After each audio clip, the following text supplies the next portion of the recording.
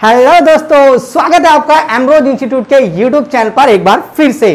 दोस्तों, आज हम आपके लिए लेके आए हैं कंप्यूटर हार्डवेयर में हार्ड से रिलेटेड कुछ एरर्स के बारे में। दोस्तों, आप सोच रहे होंगे कि मैंने मास्क क्यों पहना हुआ है, जबकि मैं तो एक बंद कमरे के अंदर वीडियो बना रहा हूँ। दोस्तों, मैं इस वीडियो के माध्यम से आपको यह भी बताना चाहता हूँ कि प्लीज़ कोरोना वायरस के बढ़ते प्रकोप को देखते हुए अगर आप कभी भी बाहर जा रहे हैं तो प्लीज़ मास्क पहनकर जाइए, क्योंकि इससे आप भी सेफ़ रहेंगे और आपके फैमिली मेंबर्स भी सेफ़ रहेंगे दोस्तों। क्योंकि दोस्तों, किसी ने कहा ना, जान है तो जहान है। चलिए स्टार्ट करते हैं आज की हमारी वीडियो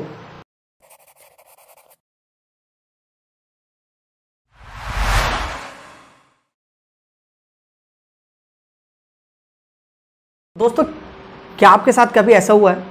कि आपने अपने सीपीयू को स्टार्ट किया हो और सीपीयू स्टार्ट होने के बाद ये एरर आपके सामने आ जाए। या इस एरर की जगह ये एरर आपके सामने आ जाए। या इस एरर की जगह ये एरर आपके सामने आ जाए। या इस एरर की जगह ये एरर आपके सामने आ जाए। या इस एरर की जगह ये एरर आपके सामने आ जाए। या इस एरर की जगह ये एरर आपके सामने आ जाए, या इस एरर की जगह ये एरर आपके सामने आ जाए।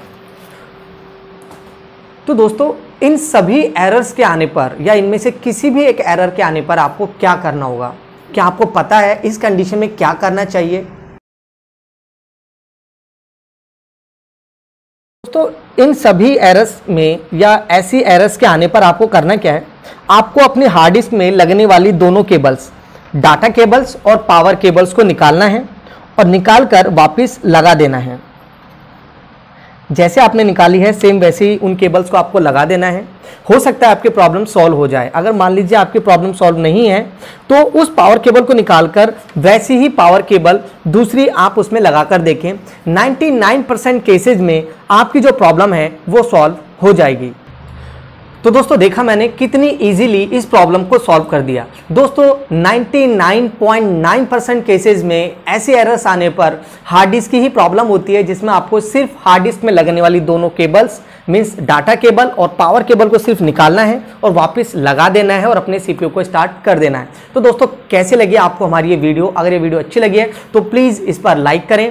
कमेंट करें और ज़्यादा से ज़्यादा लोगों के साथ इसको शेयर करें। और अगर अभी अभी तक आपने हमारे चैनल को सब्सक्राइब नहीं किया है तो प्लीज़ सब्सक्राइब करें और बने रहें एमरोज इंस्टीट्यूट के यूट्यूब चैनल के साथ। हम आपके लिए लाते रहेंगे और मज़ेदार वीडियोज़ दोस्तों have a good day bye bye take care